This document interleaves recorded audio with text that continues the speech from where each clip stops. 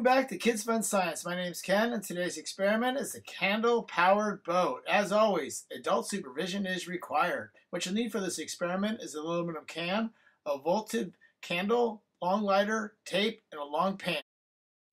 What you're going to do is take your aluminum can and take some electrical tape, and we're going to tape the can uh, from the top all the way to the bottom and back up to the top again. This is just going to give us a nice marking uh, to where we're going to use our box cutter to cut out a piece of the aluminum can, which will eventually be our sail. Now we're going to take the electrical tape on the top part of the can and we're going to go from one side of the tape to the other side of the tape about halfway around. Uh, once we get that, rip the tape and then we're going to do the same exact thing on the bottom part of the can. So it ends up looking like this right here. Uh, now we're going to take our safety gloves out, put those on, uh, at least on one hand, and take your box cutter and cut out exactly along the line of the tape on the top part of the aluminum so it looks something like this right here. When we get that out. Uh, so now we got to put a piece of tape on that cutout piece.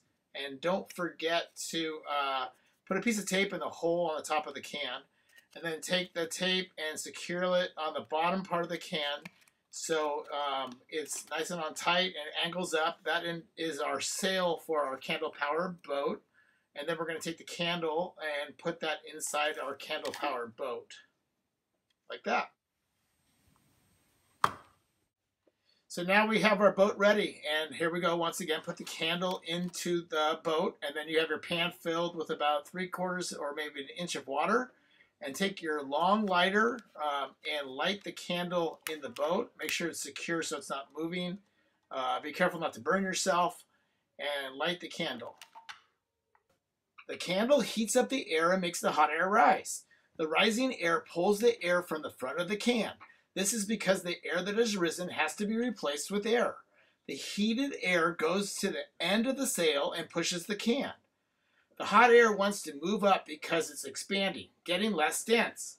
But when it's hitting the flap of the sail, it changes direction and pushes the force on the boat.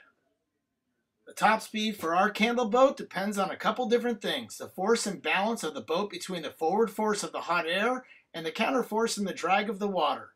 The drag is dependent on the shape of the boat. For us, that's aluminum can. And also the properties of the water and the air, and what proportion of the boat is in the water. Try different things like maybe a longer aluminum can, raising the sail, or multiple candles. I hope you enjoyed this video. Remember to click thumbs up and to subscribe. Thanks for watching.